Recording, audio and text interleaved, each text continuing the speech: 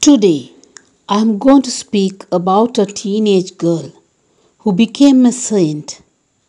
She became a virgin and a martyr at the age of 12. She fought against purity. Because of purity, she paid by her life. How can she do it?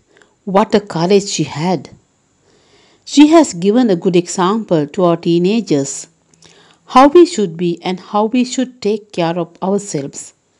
She is Agnes, Agnes of Rome, virgin and martyr, venerated as a saint in the Roman Catholic Church, Eastern Orthodox Church, the Anglican Communion, and Lutheranism.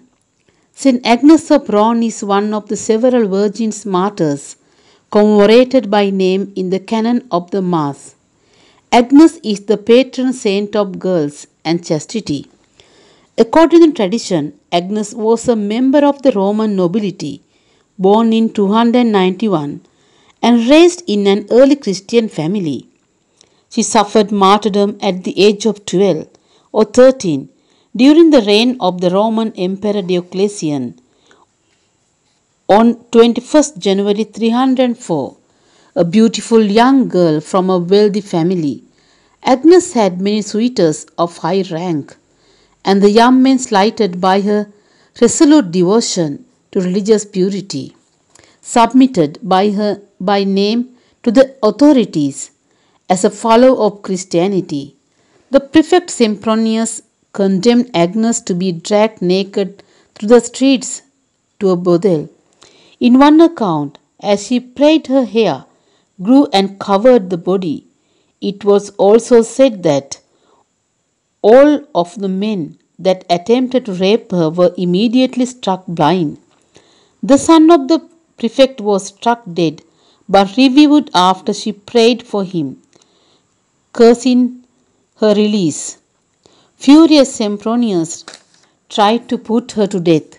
She was led out and bounded to a stake, but the bundle of wood would not burn of the flame, parted away from her. The arrogant officer in charge of the troops drew his sword and beheaded her, and her blood poured to the stadium floor, where other Christians soaked it up with cloths.